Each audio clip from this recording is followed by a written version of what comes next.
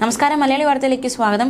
Iran Israel പോരാട്ടം വലിയ രീതിയിൽ അത് വ്യാപിക്കാതിരിക്കാൻ ഇസ്രായേൽ ഹമാസ് പോരാട്ടം പോലെ അത്തരത്തിലൊരു രൂക്ഷതയിലേക്ക് കടക്കാതിരിക്കാൻ ലോകരാജ്യങ്ങൾ വലിയ രീതിയിലുള്ള ശ്രമങ്ങൾ നടത്തിക്കൊണ്ടിരിക്കുകയാണ്. ഇറാന് തിരിച്ചടി നൽകുന്നതിൽ നിന്നും ഇസ്രായേലിനെ പിന്തിരിപ്പിക്കാൻ പാശ്ചാത്യ രാജ്യങ്ങൾ വലിയ രീതിയിൽ ശ്രമങ്ങൾ നടത്തുകയാണ്. അതിനിടയിൽ ഇതാ നിർണായകമായ ഒരു വിവരം പുറത്തുവരികയാണ്. ശനിയാഴ്ച മുന്നൂറിലധികം ഡ്രോണുകളും മിസൈലുകളും അയച്ച് ഇറാൻ ഇസ്രായേലിനോട് പകരം വീട്ടിയിരുന്നു. എന്നാൽ ഇസ്രായേൽ ആ സ്പോട്ടിൽ തിരിച്ചടിക്ക് പദ്ധതിയിട്ടതാണ്. ഇറാനോട് പ്രതികാരം ചെയ്യാൻ ഇസ്രായേൽ ഇട്ട പദ്ധതി പിന്നീട് അമേരിക്കയുടെ ഇടപെടലോടെയാണ് ഉപേക്ഷിച്ചെന്നാണ് ഏറ്റവും പുതിയ റിപ്പോർട്ട് സൂചിപ്പിക്കുന്നത്.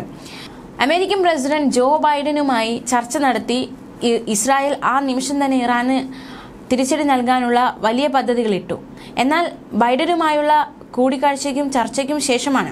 ഇസ്രായേൽ പ്രധാനമന്ത്രി ബെഞ്ചമിൻ നെതന്യാഹു പ്രത്യാക്രമണ പദ്ധതി ഉപേക്ഷിച്ചതെന്നാണ് റിപ്പോർട്ടുകൾ സൂചിപ്പിക്കുന്നത്.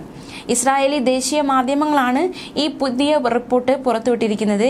എന്നാൽ ഇറാൻ ഇസ്രായേൽ മറുപടി നൽകുമെന്ന് അവർ ഉറപ്പിച്ചു പറയുകയാണ്.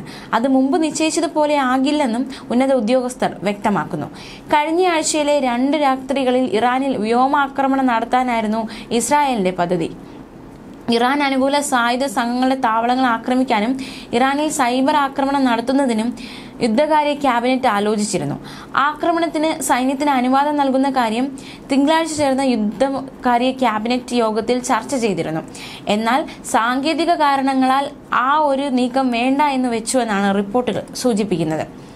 അതിനിടയിൽ ബെഞ്ചമിൻ നെതന്യാഹുവിന്റെ ഒരു പ്രസ്താവന കൂടി വളരെ ശ്രദ്ധേയമാവുകയാണ്. സ്വന്തം രാജ്യത്തെ സംരക്ഷിക്കാൻ എന്തു ചെയ്യണമെന്ന് ഇസ്രായേൽ സ്വയം തീരുമാനിക്കുമെന്ന് ഇസ്രായേൽ പ്രധാനമന്ത്രി വ്യക്തമാക്കി.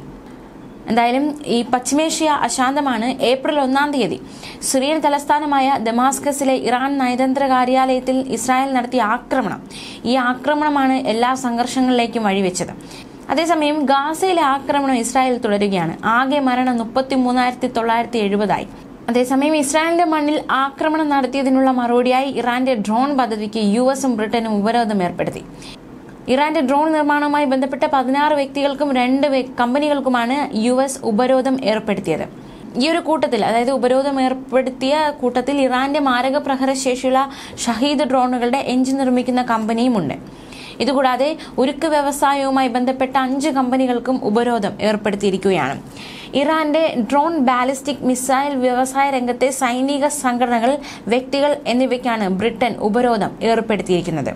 തങ്ങളുടെ ആണവ കേന്ദ്രങ്ങൾ ആക്രമിച്ചാൽ തിരിച്ചും അത് തന്നെ ചെയ്യുമെന്ന് ഇസ്രായേലിന് ഇറാൻ റവല്യൂഷണറി ഗാർഡ് കോർ മേധാവി അഹമ്മദ് ഹക്താലിന്റെ മുന്നറിയിപ്പുണ്ട്. ഇസ്രായേലിന്റെ ആണവ നിലയങ്ങളുടെ വിവരങ്ങളെല്ലാം ഇറാന്റെ പക്കലുണ്ടെന്നും അദ്ദേഹം ചൂണ്ടിക്കാണിച്ചു. ന്യൂസ് ഡെസ്ക് മലയാളി വാർത്ത.